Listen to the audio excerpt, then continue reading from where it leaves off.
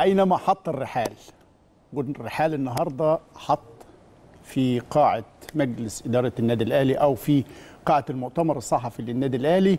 كان جلوس الكابتن سيد عبد الحفيظ وهو بيتسلم مهام عمل تجربة جديدة بيقدم لجماهير النادي الأهلي وجماهير كل الرياضة المصرية الحقيقة الجهاز الفني السويسري الجديد بقيادة رينيه فايلر. لو جبنا من الآخر أنت على مدار فترة طويلة في إدارة الكورة في النادي وهو منصب مهم طبعا. اشتغلت مع عدد كبير من المدربين الأجانب والمصريين.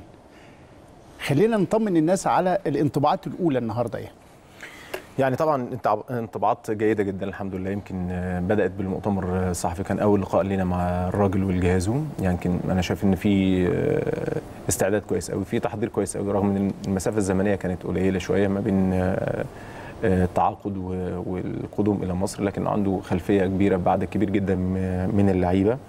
أنا مؤمن دايما بقناعات آه، مهمة جدا. أهم حاجة في عمل ناجح هو الشخصية نفسها. الاستعداد ليها القوة الحكمة ما بين ما بين القوة وال آه، آه، آه، والتعامل بشكل معين في وقت آه، من أوقات ال- آه، الشغل يعني. الحكمة اينما وجدت. في وقت بتبقى لين ووقت بتبقى آه، قوي. بس ما تحطش ده في وقت ده ولا ده في وقت ده.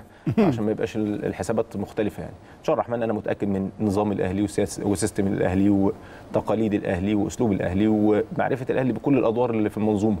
من من مدير فني من جهاز مساعد من جهاز آه، إداري.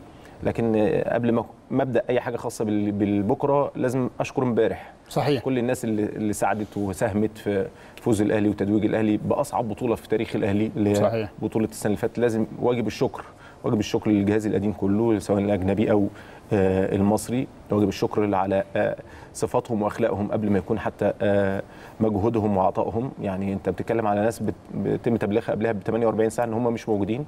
ومع ذلك بيجوا التمرين. كابتن محمد يوسف كابتن طارق سليمان كابتن حسين عبد الدايم بيجوا التمرين بمنتهى الجدية والالتزام والانضباط والتركيز. بيأدوا وهم عارفين كويس قوي إن هم خلال 48 ساعة مش موجودين يعني. لكن هو ده الأهلي يعني. لغاية تمرينة امبارح محمد يوسف وطارق سليمان بيأدوا تمرينهم مش عايزين ننسى وحسين. عبد الدايم بيأدوا أدائهم بكل إخلاص وبكل رغبة حتى في تجهيز الفريق لغاية آخر لحظة. طبعا أنت اولا يعني الأهلي مدرسة منفردة. آه. بتضايق ناس بتزعل ناس بت... ناس ب... ب... بتبقى آه، بتعجبها لكن في النهاية هي مدرسة منفردة يعني. آه.